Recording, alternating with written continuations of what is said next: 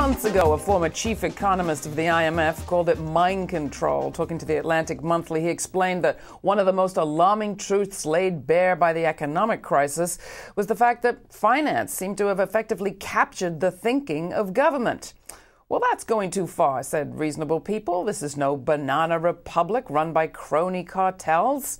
Well, that was before we had Tim Geithner's phone records.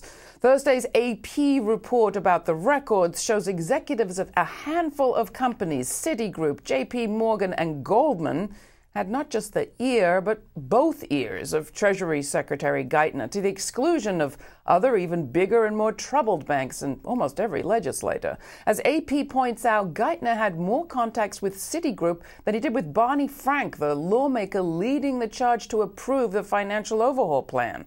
And Geithner's contacts with Lloyd Blankfein, the chairman and CEO at Goldman, way outnumbered his contacts with Senator Christopher Dodd of Connecticut, chairman of the Senate Banking Committee.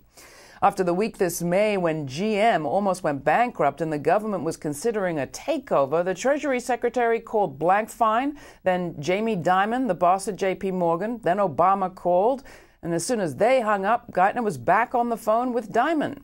Poor California Democrat Xavier Becerra, who's on the committee that handles silly stuff like taxes and budgets, he had to leave a voice message. So, where others have drug cartels, do we have a debt cartel? It'd be clear by now if Geithner was simply listening to his friends to hone his arguments. As it is, he has yet to show any sign of breaking with his Wall Street buds. In a banana republic, we'd have to pay out protection money. But oh, I forgot. We tried that already. That's all we have time for today. You'll find everything you've seen on this show at our website, grittv.org. There's a place to comment on every story. While you're there, join our mailing list so we can let you know what's coming up. And don't forget to subscribe to our video or audio podcast. We also have a Twitter feed.